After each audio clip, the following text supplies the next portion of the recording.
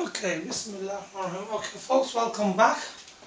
In this particular question here, we'll be looking at the sine rule in non-right angle triangles, working at an angle.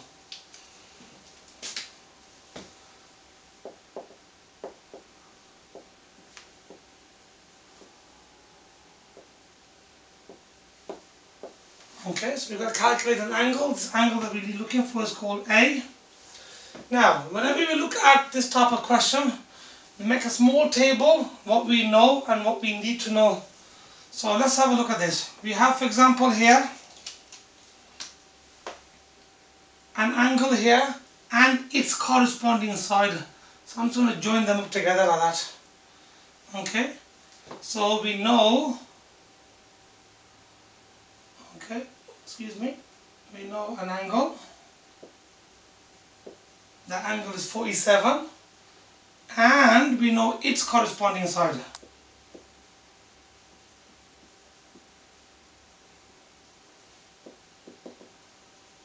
Okay. So there are two pieces of complete, I call that complete set of information, an angle and its corresponding side. Now, we have another angle here that one we've got to work out. So that's the bits over here. So what we need to know, so we need to know an angle. Okay, so we need to know an angle, that's what we don't know, which is A. And we know its corresponding side.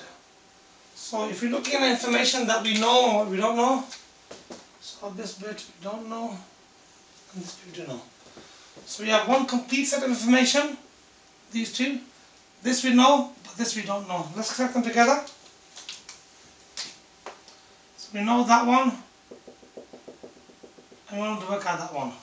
So whenever we have this type of situation where we know one complete set of information and the other set of information is incomplete by one item, then we are looking at the sine rule. Okay, now let's have a look at the sine rule. We have little a over sine A is equal to B over sine B. Now what we need to do here, we need to label this diagram, they've already given us A in the question. I'm going to label this corner here B, which makes that into little b. So if that's big A, the angle, so that will be the, its corresponding length, the little a. So now we have labeled it up, we can, for completeness, we can label the C and little c, they won't be used at all in this particular question. So let's move on. So what do we know? So big A we don't know. Little a we do know. Little b we do know. And big B we know. So on in this identity here, which is part of the sine rule, so you normally have A over sine A equals B over sine B equals C over sine C. So we only need to use these two parts. You only ever need to use two parts anyway when using sine rule. Now we need to work out the A. At the moment the A is at the bottom of the fraction. We need to get to the top in order for us to be able to work with it. So what we're going to do now is we're going to flip this, this, these two fractions upside down. Okay, so just watch. So we get sine A over little a is equal to sine of big B over little b. Okay, mathematically we're allowed to do that. And we've done that so far. Now we need to put the values in and do some rearrangement. We need to make A the subject. We can make A the subject right now, first, and then put the values in. Let's try that. So A has got a function of sine acting on it. That's our first action. And then it's being divided by A. That's our second action.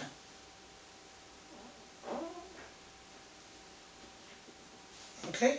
Now when you have two actions and we have to solve the equation, we always move the last action first. So we're going to move the divide by the divide by a first becomes other side becomes a time by a. So if we rewrite the other side, even though I've physically moved it to over here, I'm actually going to write the multiply a at the front because we can do that multiply the order doesn't matter so I'm, going to choose to write that at the front even though I've taken it to, to the back over there over B is equal to sine of big A. Okay. One more thing we got to do. We have to now move the sine over because we've got sine acting on the A. We don't want sine of A, we want just A on. So that has to come over here. So opposite of sine is inverse sine, which is written as sine to the minus 1.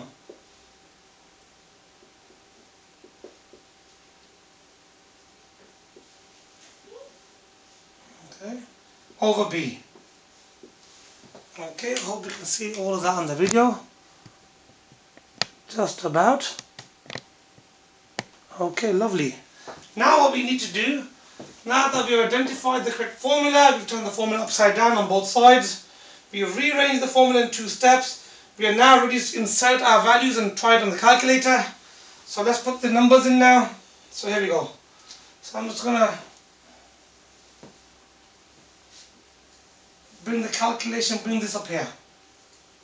So it says sine to the minus 1, a. The a value is 6. Time by the sine of the big B value. The big B value is 47.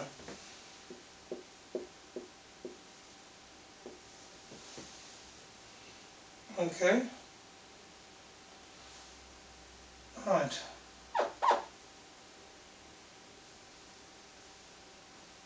And then we have to put the little b value in the bottom. Little b value is 8.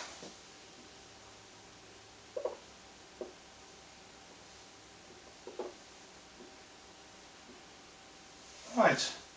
So now we are ready to work out our a value. Now we need to input this into the calculator. Right, let's get one of our Casio scientific calculators out. Okay, so we press to switch it on. So first we press shift and then the sine button that gives you sine minus 1. Now you're going to enter this fraction arrangement by pressing the fraction button. So that us the top part and the bottom part. We type in 6 times by sine 47. 6 times by sine of 47. Close a little bracket, bring it down. Divided by 8. Take, press replay, take it back up and close the bracket off. You can close it all so we've got this bracket and that bracket now. Press equal and we get an answer of 33.265.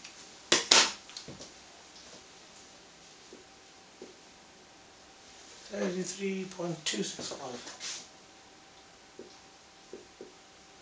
Now, this is an angle. We don't need to have that many degrees of accuracy. So we're gonna for sensibility, we're gonna do thirty-three point. Now round off to one decimal place. we Look at the second one, if it's 5 or more, add 1.